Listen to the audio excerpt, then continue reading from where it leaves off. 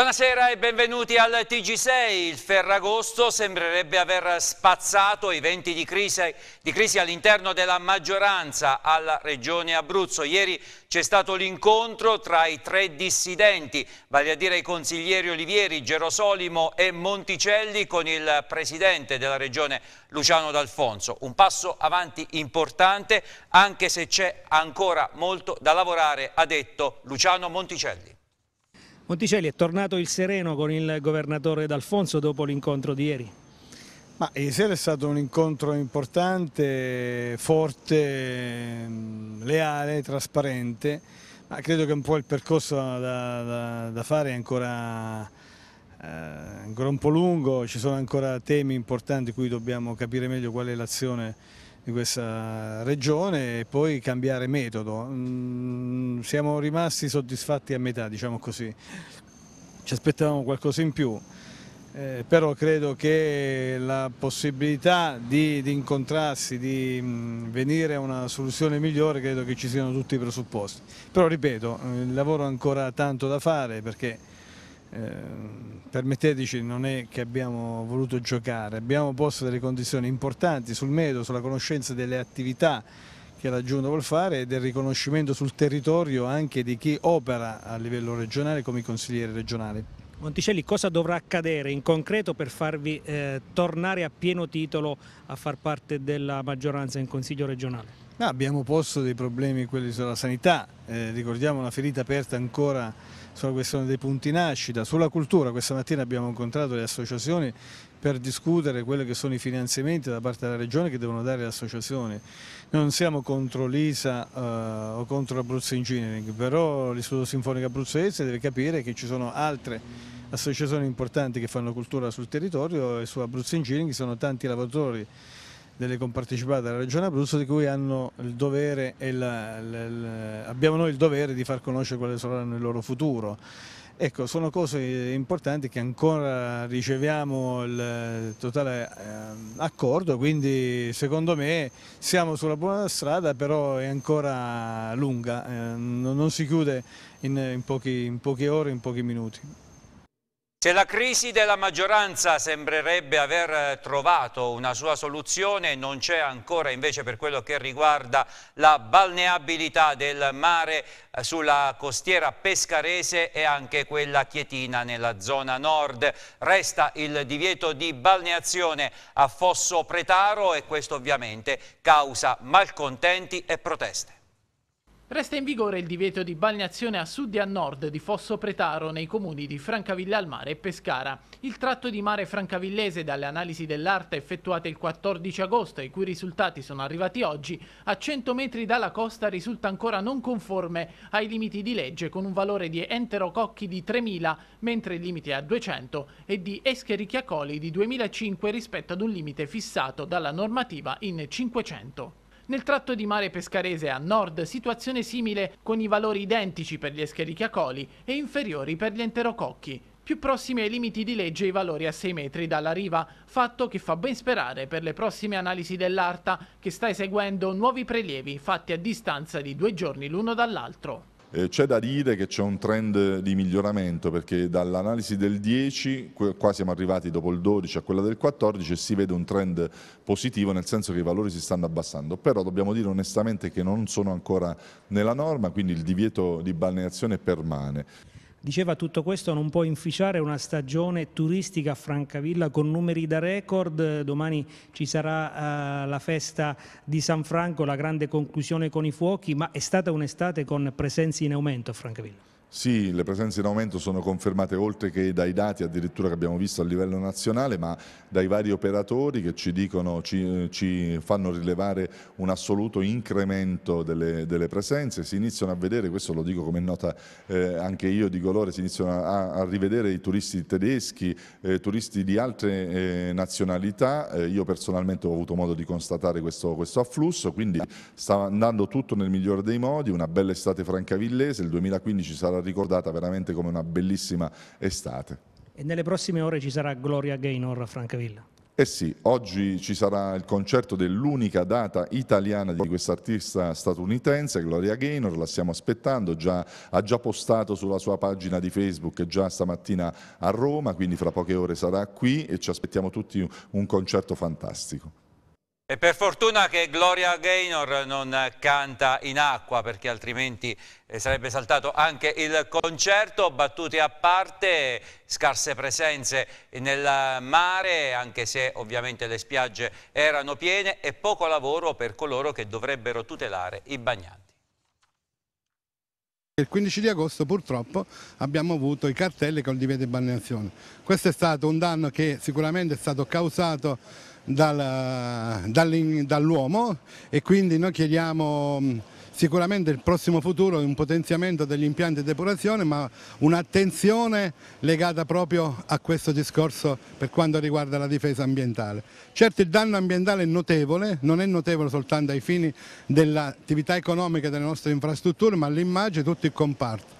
Dire che eh, mettere cartelli il 14 di agosto sulle aree dell'area metropolitana e Pescara, Francavilla, Montesilvano significa danneggiare l'immagine di tutto l'Abruzzo.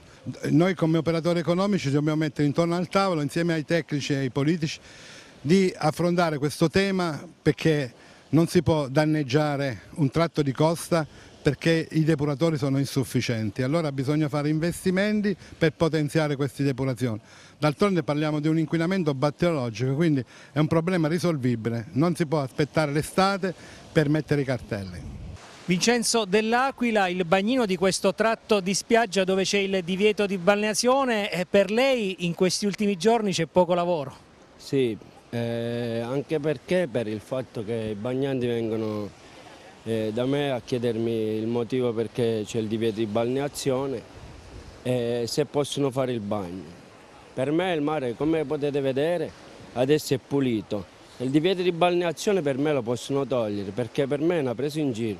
Forse due o tre settimane fa dovevano mettere questo divieto. Eh, questa forse è anche l'idea eh, che hanno i consiglieri di minoranza a Pescara perché ovviamente eh, sapete che c'è grande polemica per quell'ordinanza firmata dal sindaco Marco Alessandrini e che poi non è stata resa pubblica. E per questo ci sono due mozioni di sfiducia presentate nei confronti del primo cittadino pescarese, una è già stata sottoscritta da nove consiglieri di opposizione del centrodestra, vale a dire di Forza Italia, Nuovo Centrodestra e Pescara Futura. L'altra invece è stata elaborata dal Movimento 5 Stelle e inviata a tutti i componenti l'Assemblea. A questo punto bisognerà trovare la quadra e unire in un unico documento la mozione di sfiducia, ma eh, la psicosi di, da inquinamento delle acque ha caratterizzato il Ferragosto pescarese. Vediamo un po' cosa ne pensa la maggioranza che Ferragosto è stato a Pescara, tempo così e così, poco mare, situazione città comunque tranquilla anche dal vostro osservatorio. Ma il Ferragosto è stato all'insegna diciamo, un po' dell'aspetto meteorologico più che altro, c'era come dire, preoccupazione di eventuale pioggia. In sostanza è andata bene, il mare è stato affollato, eh, ci sono state diciamo, le attività tipiche del, del, periodo. La psicosi da inquinamento ha giocato un ruolo sicuramente importante e di questo insomma, che qualcuno si renda conto perché un'economia non può essere messa in crisi soltanto per una contrapposizione politica. Ripeto, massima eh, serietà e serenità nella tutela dei bagnanti e di coloro che vanno al mare, ma quello che ho sentito in questi giorni, che addirittura chi al confine di Montesilvano ha avuto malori perché eh, per effetto dei, del depuratore di Via Raiale, credo che siamo ormai a a un clima da caccia alle streghe, ripeto, sempre nella assoluta responsabilità per la tutela della salute dei cittadini ma voglio ricordare, eh, lo faccio adesso eh, ma eh, lo farò anche in seguito e in ogni altra occasione, le ordinanze che si emettono dai vari enti locali riguardano solo ed esclusivamente dei punti particolari sotto diciamo, la guida dell'ARTA, così come è avvenuto adesso per eh, Fosso Pretara, il 28 e 29 luglio è avvenuto per via Balilla, Certo, puoi dire che il mare è tutt'uno, ma il mare è talmente grande che riesce anche a superare le diatribe dei, degli uomini. Il giorno di Ferragosto c'è stato come al solito un avvenimento, vale a dire la visita, l'avvenimento che si ripete ogni anno, la visita di Marco Pannella al carcere di Castrogno di Teramo. Eh, il, eh, il, carcere di Teramo era finito sotto i riflettori la scorsa settimana per il suicidio di un detenuto. Ebbene, dopo la visita di Pannella, ovviamente i casi non sono collegati, ieri ci sono stati altri due casi di suicidio fortunatamente sventati da due operatori. È una lunga scia di suicidi quella che attraversa i bracci del carcere di Castrogno a Teramo. Ieri mattina altri due detenuti hanno tentato di togliersi la vita nel reparto femminile in quello protetti, salvati dal pronto intervento del personale della polizia penitenziaria. Invece nulla avevano potuto gli agenti lo scorso 10 agosto quando nella notte si è tolto la vita Giovanni Grieco, il 41enne pescarese reo confesso dell'omicidio a coltellate lo scorso 6 maggio davanti al suo negozio di Gian Domenico Orlando, titolare di una nota pasticceria del capoluogo adriatico. Il gesto di Greco ha fatto salire a 14 la triste conta dei detenuti che non hanno resistito all'interno del carcere di Castrogno decidendo di farla finita ma i dati delle morti in carcere in Italia e di coloro che hanno scelto di mettere fine alla propria vita sono davvero impressionanti. 873 detenuti dal 2000 ad oggi si sono suicidati tra i 2445 decessi complessivi, dati che richiamano l'attenzione in maniera pressante sulle condizioni di vita nelle celle italiane. Proprio in questo Ferragosto, nella nostra regione, il partito radicale guidato da Marco Pannella è tornato all'interno degli istituti di pena, focalizzando la propria attenzione proprio sul carcere di Castrogno. Anche il SAP, il sindacato autonomo di polizia, da tempo sta lanciando grida d'allarme rispetto alle condizioni di lavoro e di vita nel carcere teramano. Secondo il sindacalista Giuseppe Pallini, il carcere di Castrogno non è più in grado di gestire così tanti circuiti detentivi, alta sicurezza, detenuti comuni, tossicodipendenti, sex offenders,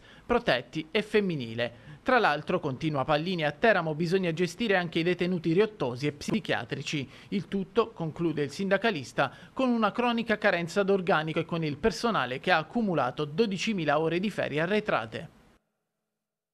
Purtroppo è stato anche un Ferragosto tragico, proprio il 15 ha perso la vita Federica Petraccia, giovane studentessa di Pineto, morta sotto gli occhi del padre. È un fiume di gente questo pomeriggio alle ore 15.30 ha partecipato ai funerali della giovane, si riferiscono le immagini proprio a questo pomeriggio nella parrocchia di San Francesco a Pineto. E lo stesso eh, padre fino a pochi istanti prima la portava dietro di sé su uno scooterone. Tutta la città di Pineto si è fermata per stringersi attorno alla famiglia Petraccia straziata dal dolore incontenibile la disperazione ovviamente di parenti e amici che hanno gremito la chiesa per l'addio a uh, Federica. Ancora la cronaca, tre denunciati, quattro auto ed un motociclo sottoposti a sequestro, cinque patenti ritirate, 150 punti decurtati. E questo il bilancio dei controlli stradali del weekend effettuati dai carabinieri della compagnia di Alba Adriatica, in particolare è stato denunciato un macedone di 57 anni residente a Spinetoli in provincia di Ascoli Piceno per guida senza patente perché mai conseguita, un nigeriano di 34 anni residente a San, a San, Benedetto del Tronto è stato denunciato per uso di atto falso, falsa attestazione delle generalità, guida senza patente perché mai conseguita e ricettazione. Infine un 19enne di Santomero è stato denunciato per guida senza patente perché mai conseguita. L'Unione Europea ha chiesto la restituzione delle tasse e dei contributi sospesi dopo il terremoto del 2009 alle aziende aquilane e del cratere sismico, coinvolte centinaia di aziende che se le cose dovessero rimanere così e senza un intervento deciso della politica rischiano di dover sborsare migliaia di euro. Una doccia fredda in piena estate. È l'amara sorpresa che arriva dall'Unione Europea per decine di imprese aquilane, che nel giro di poche settimane potrebbero dover restituire migliaia di euro, Si tratta dei fondi recuperati dopo la sospensione di tasse e contributi a seguito del sisma, che le aziende potranno restituire in 10 anni con un abbattimento del 40%.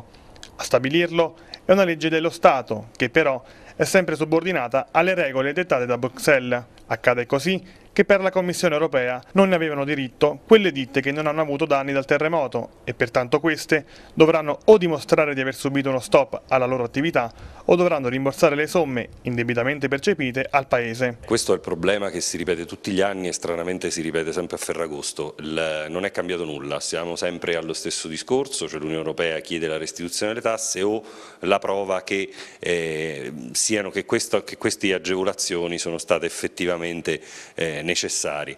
Il discorso dell'onere della prova diventa difficilissimo, peraltro non c'è più per le altre regioni che sono state colpite da calamità naturali e questa ovviamente è un'ingiustizia sotto gli occhi di tutti. Per la legge italiana infatti le aziende non hanno l'obbligo di mantenere le scritture contabili per oltre 10 anni ed è praticamente impossibile, o quasi, individuare un eventuale indebito arricchimento. Insomma, oltre al danno la beffa per le aziende aquilane, al fianco delle quali sono già scesi in campo sindacati, associazioni di categoria e regione, dalla quale attendono la stessa attenzione registrata nelle scorse settimane per Abruzzo Engineering e Sinfonica. Il grosso problema sono i burocrati di Stato, quelli che hanno mancato la comunicazione a suo tempo, sono i direttori dell'Agenzia delle Entrate e dell'Inps e dell'INAIL ovviamente, che noi intenderemo chiamare ovviamente in causa. Credo che sia arrivato il momento di, di, di menare, come si dice dalle nostre parti, cioè adesso basta con le mediazioni, credo che Roma abbia esaurito tutti i suoi compiti, i tentativi li abbiamo fatti in sei anni praticamente tutti, adesso credo che vadano denunciati i responsabili di questa situazione. E credo alla luce della nuova della riforma che c'è stata sulla pubblica amministrazione sarà il caso di chiedere che queste persone vengano licenziate e che escano dalla pubblica amministrazione. Noi riteniamo che solo un'azione estremamente forte possa portare a qualche risultato perché il resto lo abbiamo provato sempre. Occupiamoci adesso del collegamento che c'è tra Pescara e la Croazia. In questo primo mese di eh, funzionamento i numeri sono buoni ma non sono da record, comunque non, eh, il bilancio è sicuramente positivo.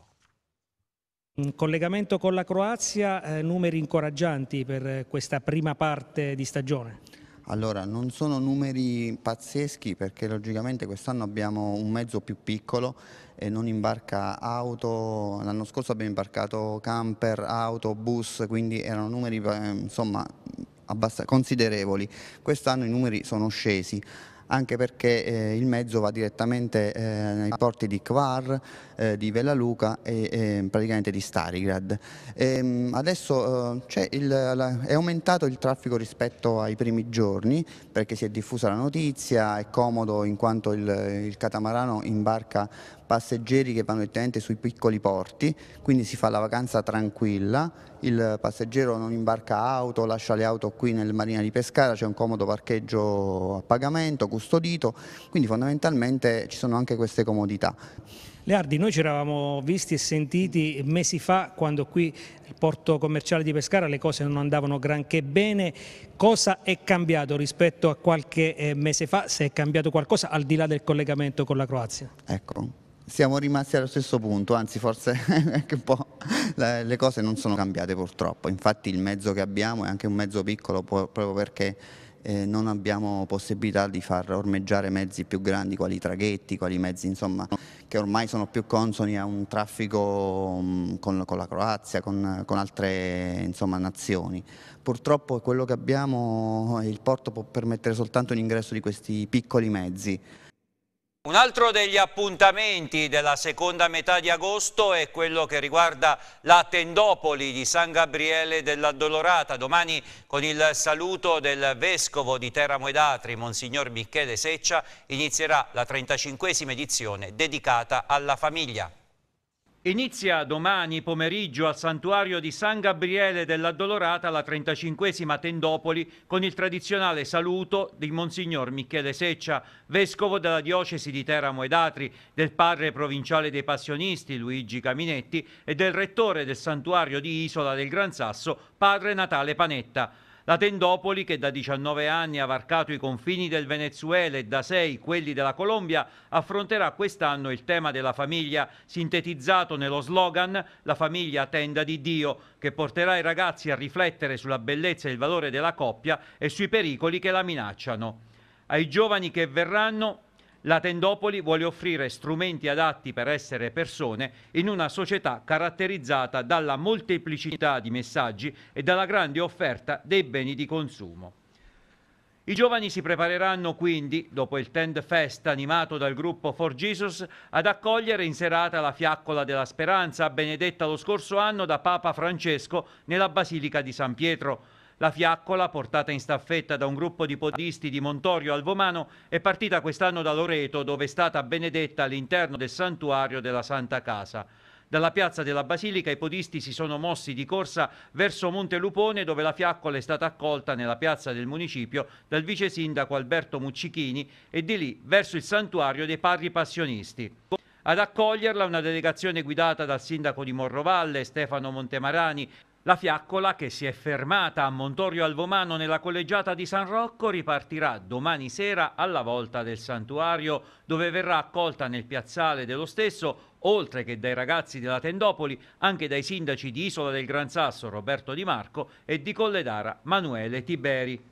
Sabato 22 agosto la Tendopoli chiuderà con la festa dei giovani e la tradizionale marcia a piedi da Isola a San Gabriele. Alle 11 è prevista la messa presieduta dal cardinale Edoardo Menichelli e poi, come tradizione vuole, la foto ricordo davanti al vecchio santuario.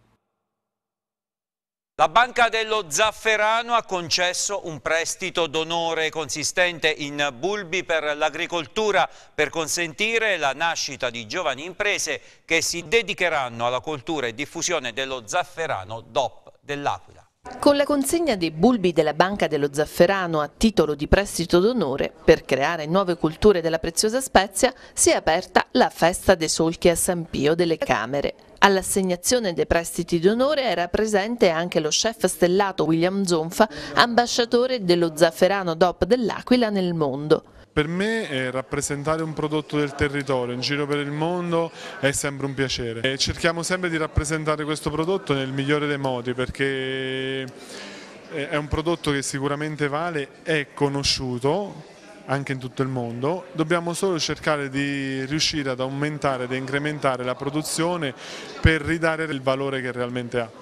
I solchi scavati nella terra accoglieranno i giovani bulbi per dar vita a nuovi fazzoletti di terra dipinti di rosso e viola, in fiore per l'autunno, quando torneranno ad animare i paesi della zona le vie dello zafferano. La festa dei solchi culminerà venerdì 21 agosto con l'aperitivo di gala sul tema dello zafferano realizzato dallo chef stellato William Zonfa. L'aperitivo si svolgerà nel Salone dei Granai presso la Magione Papale. Il gran concerto poi nella Basilica di San Bernardino intorno alle 21.30 concluderà la prima edizione della Festa dei Solchi.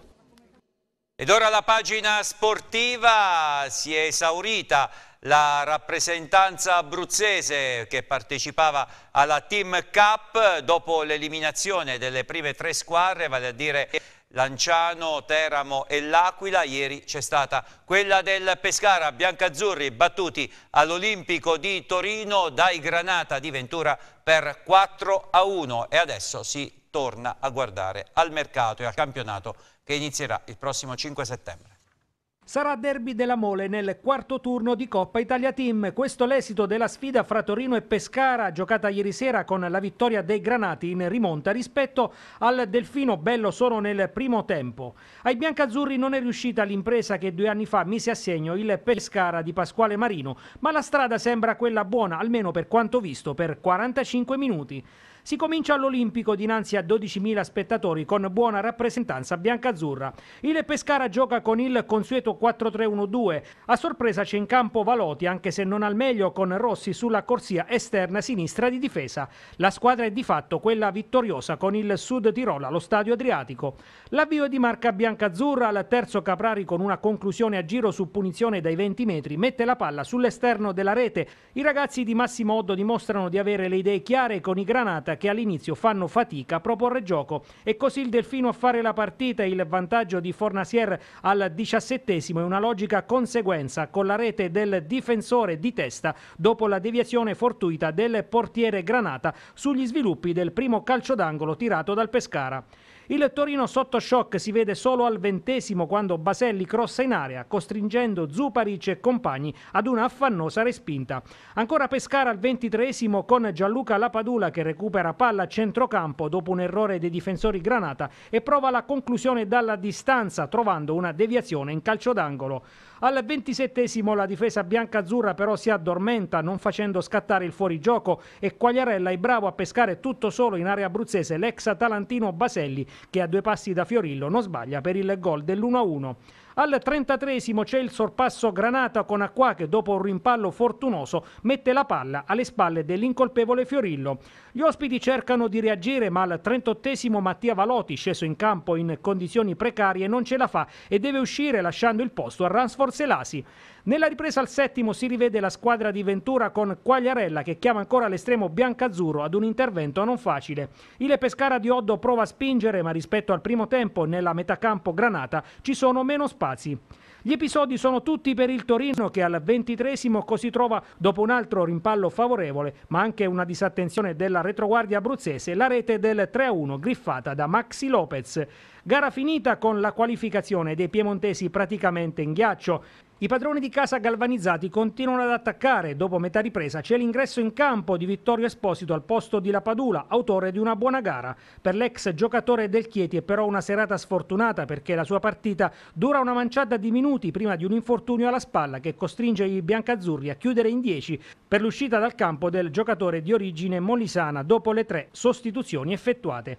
Prima dell'infortunio di Esposito c'è il tempo per vedere al ventottesimo il poker di prepotenza del neoentrato Martinez che fissa il punteggio sul 4-1. Nel recupero c'è il palo colpito dall'onipresente Quagliarella prima del triplice fischio finale di Massa d'Imperia. Il Pescara saluta la Coppa e da oggi torna a concentrarsi sul mercato per accaparrarsi un attaccante ed un difensore che alla luce di quanto visto ieri sera all'Olimpico sembra più che mai necessario. Salamon resta il sogno per la difesa, Boaci per il reparto avanzato, tante le cessioni in programma da parte della società adriatica.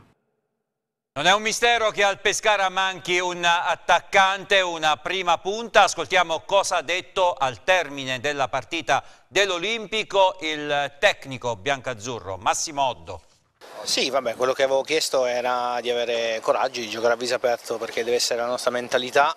Abbiamo cercato di andare a prendere alti, siamo partiti direi molto bene, abbiamo fatto secondo me un, un ottimo primo tempo se consideriamo che davanti a una squadra di Serie A, quindi ovviamente a volte siamo riusciti, a volte loro sono bravi a girare il campo, però di concetto pensavo fosse più opportuno andare a prendere alti che bassi, perché se stai basso loro sono bravi nel palleggio, quindi fai più fatica. Non, non, non, può essere al massimo, questo è inevitabile, è appena la seconda gara ufficiale, è appena la seconda gara che qualcuno fa per 90 minuti, quindi, ma vale per il Pescara come vale per il Torino e tutte le altre squadre, quindi e bisogna prenderla un po' col beneficio di inventario, però sì, io sono, sono contento perché ho visto cose positive, alcune un po' meno, c'è sicuramente da, da, lavorare ma questo è normale. Vabbè, ma il Torino è un'ottima squadra, tanta qualità e mm, diciamo che noi non siamo neanche molto fisici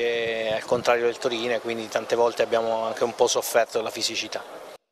E queste sono ore di palpitazione per i tifosi del Teramo, è attesa nelle prossime 48 ore la sentenza della Corte federale che è chiamata a decidere sul futuro della società biancorossa. Ricordiamo che la scorsa settimana nel corso del processo, nell'udienza del processo, la Procura federale ha chiesto la retrocessione in Serie D e 20 punti di penalizzazione per il Teramo. Era attesa per oggi la sentenza per il caso Catania, per il processo Il treno dei gol, invece eh, è slittata, dunque molto probabilmente eh, le sentenze con le motivazioni verranno rese note tra domani e dopodomani tutte insieme. Nel frattempo noi oggi abbiamo ascoltato quello che ci ha detto l'avvocato difensore del Teramo Edoardo Chiacchio. Come ci si deve approcciare a questo primo grado di giudizio? Ma con la tranquillità e la serenità eh, di aver dimostrato che eh, il Presidente Capitelli eh, non può essere neppure lontanamente considerato il soggetto esposto nella requisitoria del eh, sostituto procuratore federale. Quindi siamo tranquilli, sereni di aver fatto tutto il possibile e di aver dimostrato senza ombra di dubbio che le accuse sono infondate. Avvocato, uno dei punti forti dell'accusa era quella fascia oraria che andava da mezzogiorno diciamo, luna del pomeriggio dove i dirigenti hanno detto che il Presidente Campitelli era andato in camera a riposare, invece per l'accusa era andato a saldare il conto della partita venduta. Voi eh, c'è una prova che avete portato e che non è poi venuta fuori in maniera così eclatante, si parla di una ricevuta di un pagamento con carta di credito del Presidente. Eh, sì, ma questo era, era qualcosa che non era neppure necessario provare, eh, ma è, quello che lei ha riferito in effetti è solo una parte della, della verità storica. Il discorso è questo, il, direttore sportivo del Teramo era in quel luogo in un appuntamento per altri motivi, peraltro come ha dimostrato l'avvocato Libero D'Amelio, era in quel luogo dalle ore 10.58 e noi penso che abbiamo dimostrato che fino alle ore 12, con due testimonianze, ma ce ne sono altre sette testimonianze eh, prodotte con le indagini difensive, il Presidente era in eh, hotel con la squadra. Che cosa si aspetta dal, dal primo grado? Che tipo di condanna? No, ma io mi aspetto il proscioglimento di Campitelli, poi il resto non è, è, è, conseguenza di questo proscioglimento. Se le cose non dovessero andare così, quante possibilità nel secondo grado ci saranno per conservare la Serie B? Ma io ci, a questo non penso proprio.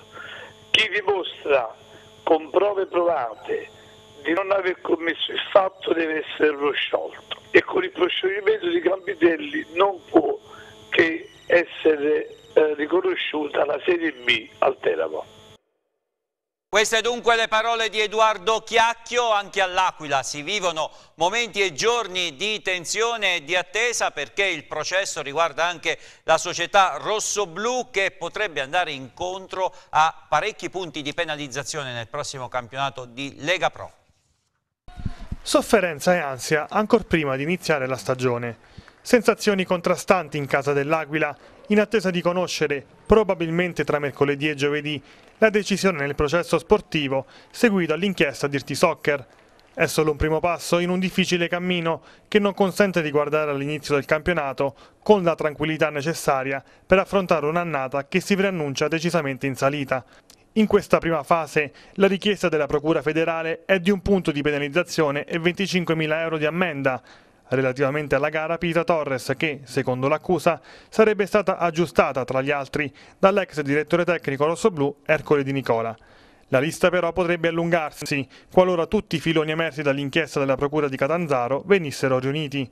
In quel caso l'Aquila potrebbe dover rispondere di altre sei partite, le due con il Sant'Arcangelo, Savona, Tuttocuoio, Pistoiese e Grosseto.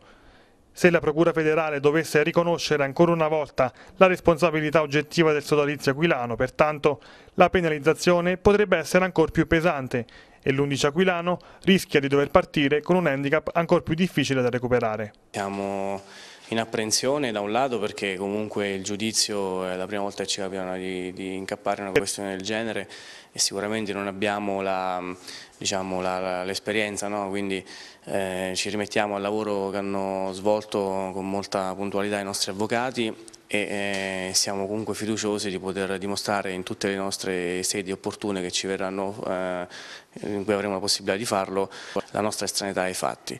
E, lo sappiamo benissimo che ehm, da quando le cronache hanno, sono state riempite da, dai fatti che contestano al nostro ex collaboratore, e così come a tante altre persone sapevamo benissimo che la, la, stagione che era alle porte e che ormai è iniziata sarebbe stata complicata ma non per questo dobbiamo, eh, dobbiamo essere sconfitti e battuti in partenza.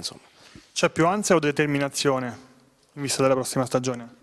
Credo determinazione, determinazione perché le difficoltà all'Aquila le abbiamo sempre avute storicamente, io sono qui da prima del terremoto quindi ne ho vissute ne ho vissute diverse, abbiamo avuto stagioni esaltanti, anche alcune meno, è un po' il ciclo del, dello sport e del calcio, anche questo non si può sempre essere in vetta. Quest'anno è una stagione sicuramente in cui cambieranno un pochino gli obiettivi, ma eh, altrettanto non, non è detto che non ci si possa divertire.